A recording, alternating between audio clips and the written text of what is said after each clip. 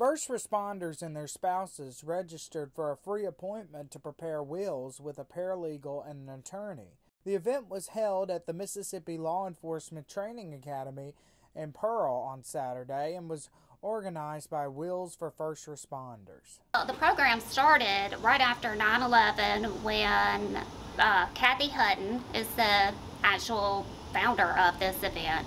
She started it in Cincinnati, Ohio after finding out all the first responders that died in 9 11 and that so many of them didn't have any kind of documents whatsoever. So every one of those people that passed away had nothing. They had to go to court and do everything from scratch. The program helps those like husband and wife volunteers for the Smyrna Volunteer Fire Department in Hazlehurst, John and Susan Ketzel. Well, having uh, being a volunteer firefighter and of course not getting paid for it, everything that we do and we put into it um, is out of our own pocket.